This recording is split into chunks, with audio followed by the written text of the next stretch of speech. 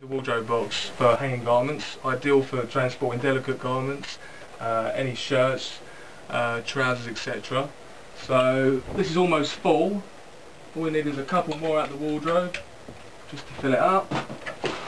Try and remember you don't want to over overfill these boxes. You've got to remember they're cardboard.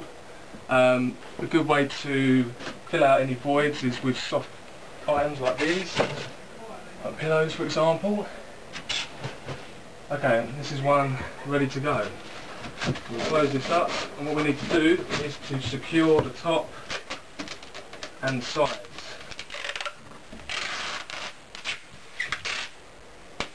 Like so. Then we basically take a few bits of tape down the side here.